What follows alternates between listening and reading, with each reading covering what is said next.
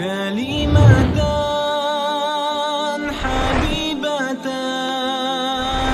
إلا الرحمن Terkait seorang pemuda yang belum mampu untuk menikah, maka yang disarankan adalah hendaknya dia terus mempertahankan kesucian dirinya sampai Allah memberikan kemampuan baginya untuk menikah, yakni bersabar menjauhi semua perkara yang terlarang. Allah berfirman dalam surah An-Nur ayat yang ke-33, "Wal yasta'fifil ladzina la yajiduna nikahan hatta yughniyahumullahu min fadlih."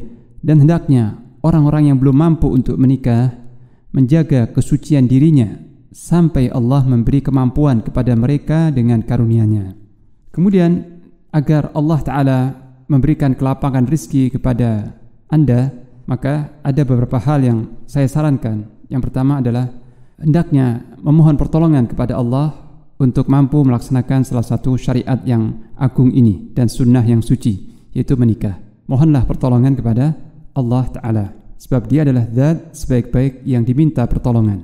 Dan jadikan ketakwaan kepada Allah sebagai sarana atau sebagai wasilah. Bertakwalah kepada Allah Ta'ala dengan semaksimal mungkin sebab ketakwaan adalah kunci pembuka rizki dan keberkahan dari langit dan dari bumi Kemudian perbanyaklah istighfar dan taubat kepada Allah. Perbanyak ucapan astaghfirullah wa atubu ilaih sebab istighfar akan mengundang ampunan dan rahmat Allah Subhanahu wa taala.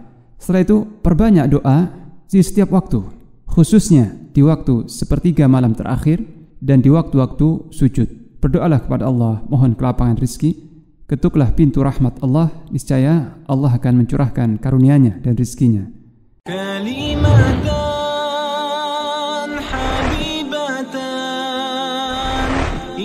الرحمن.